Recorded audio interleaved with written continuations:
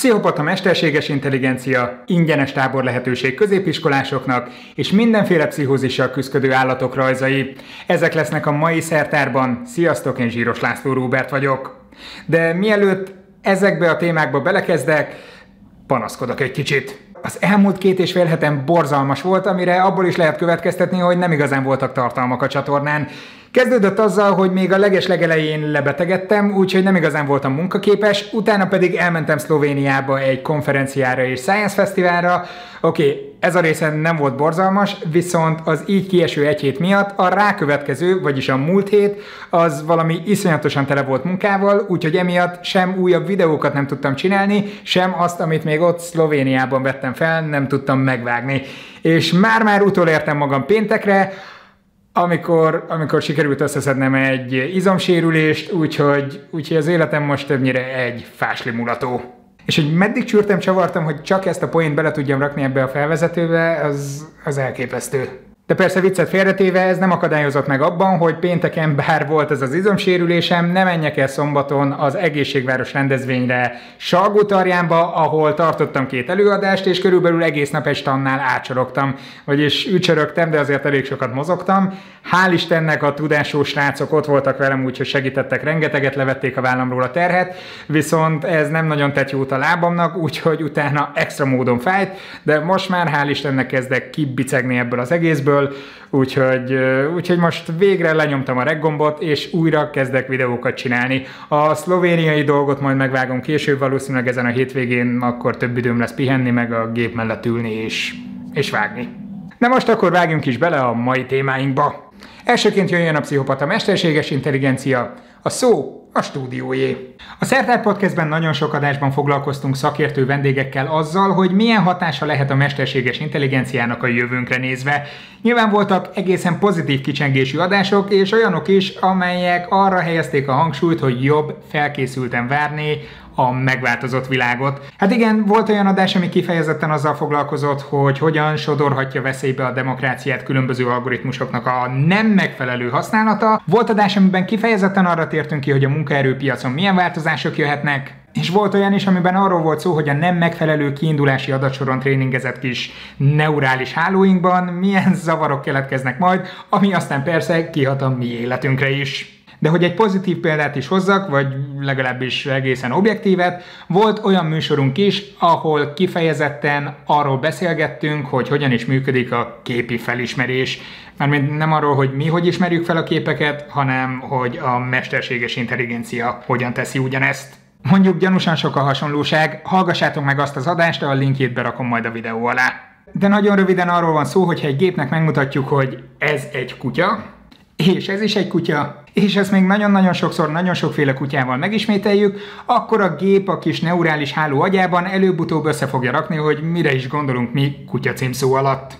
Ha pedig sok más formát is ugyanígy megmutatunk neki, akkor előbb-utóbb tök jól fel fogja ismerni ezeket. Na és ettől vajon öntudatra ébrednek a gépek? Nem, de azt már egész jól meg fogják tudni mondani, hogy melyik a kutya és melyik a szétrágott plüss dinoszaurusz. Lajka! Azt ide!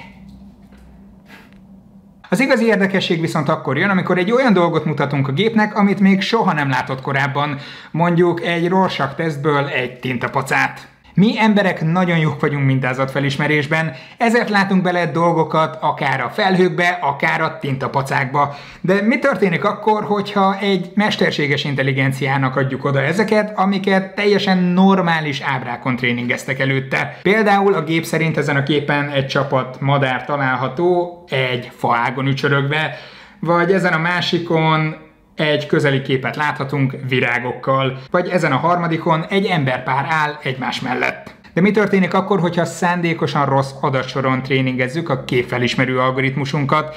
Mondjuk leásunk az internet legmocskosabb bugyrába, és olyan képeket ásunk elő onnan, ahol változatos halállal halt emberek képei láthatók, és a kommentelők ezeket bőven el is látják mindenféle leírásokkal akkor az eredmény Norman lesz az első pszichopata mesterséges intelligencia, legalábbis az MIT kutatói, akik fejlesztették őt, azt, így nevezték el, nyilván Norman Bates a Psycho főszereplője után. Norman szerint az első tintapaca, amiben kis madárkákat látott az egyik gép, voltak éppen nem más ábrázol, mint villamosszékben kivégzett embert. A második egy lelőtt embert, a harmadikon pedig épp egy ember ugrott ki az ablakon. De a kedvencem mégiscsak ez a kép, amire a normális algoritmus azt mondta, hogy ez tulajdonképpen egy kismadár fekete-fehér képe. Nos, Norman szerint ez egy ember, akit behúzott a dagasztógép. Szóval a különbség bámulatos, ebből látszik igazán, hogy mennyire képes torzítani a gép, hogyha nem a megfelelő adatsoron tréningezzük őket, és ez volt a célja az MIT kutatóinak is, hogy felhívják erre a figyelmet. Egyébként eh, ki lehet tölteni a tesztet, hogy ti magatok mit láttok bele az adott képekbe, és ezzel azt remélik, hogy Normant egy kicsikét normalizálni lehet, vagy normalizálni. Na jó, hagyjuk. Viszont az is igaz, hogy ez a teszt szerintem valahol akár felhívó is lehet keringőre, hogy széttrollkodják az emberek. Volt már ilyenre példa. Normanhoz a linket természetesen megtaláljátok a videó alatt, de most megyek és leviszem az imént sikeresen felismert kutyákat az udvarra, hogy nyugton legyenek addig, amíg elmegyek a városba, hogy felvegyem az eheti podcastet.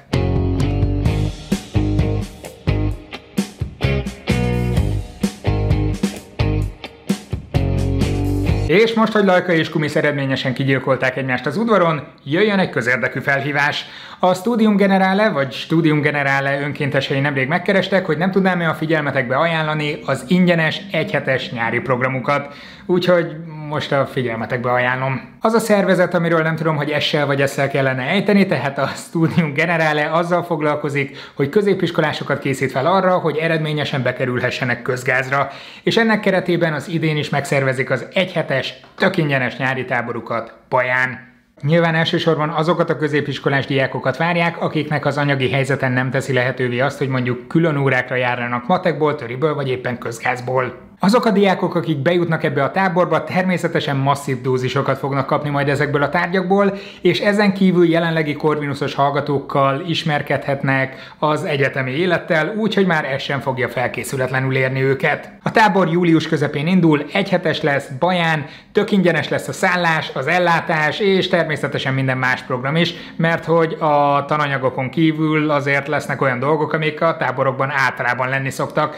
Nektek egyedül az odajutás költségét kell majd állnotok. Az úti költségen kívül további kihívás, hogy június 17-ig ki kell töltenetek egy felvételi tesztet, ami alapján a szervezők eldöntik, hogy mehettek a táborba, vagy sem. De mondjuk a tesztet ingyen ki tudjátok tölteni, a linket a videó alatt találjátok. Egyébként a Studium Generalénál nagyon büszkék arra, hogy az előző táborokban, akik részt vettek, 90%-ukat fel is vették aztán közgázra, az mondjuk kicsit foglalkoztat, hogy nem azért van-e így, mert hogy már eleve tehetséges diákok mentek oda. Valószínűleg ez is szerepet játszik, de ettől függetlenül ez egy nagyon-nagyon fontos kezdeményezés, úgyhogy ha ismertek olyat, akinek ez releváns lehet, osszátok meg vele, vagy nyilván ha ti vagytok azok, akkor jelentkezzetek rá. Ennyi közérdekű info után most összepakolom a podcast felvételhez szükséges tucokat, amit egyébként a ti Patreon támogatásaitok segítségével tudtam megvenni, és irány a belváros, ahol a felvétel fog történni.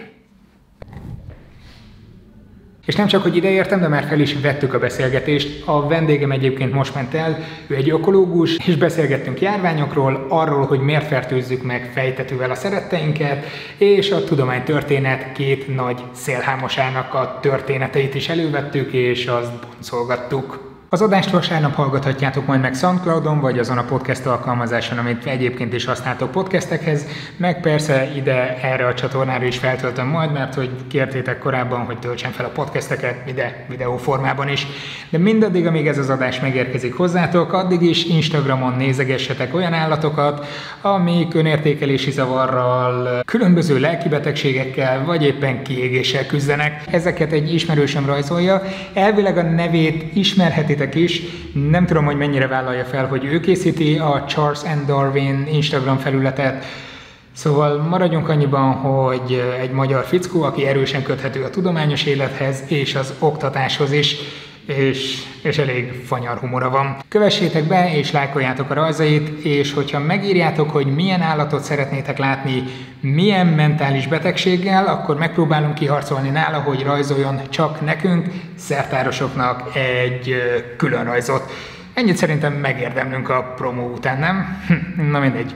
Ennyi téma fért a mai adásba, persze a listámon van még egy csomó, amit szerettem volna feldolgozni, de nem sikerült mindenféle okok miatt, amit a videó elején is felvázoltam, de ezekre is sort kerítek rövidesen. Többek között, ami ebből kimaradt, és nagyon-nagyon régen ígértem, hogy válaszolok kérdéseitekre, úgyhogy a következő alkalommal azt is igyekszem bepótolni, tehát ha van még kérdésetek, azt nyugodtan tegyétek fel a videó alatt, be fogom építeni majd a következő videóba ezeket is. Ha tetszett ez a videó, lájkoljátok, ha pedig várjátok a következőt, akkor iratkozzatok fel a csatornára. Köszönöm a figyelmeteket, sziasztok!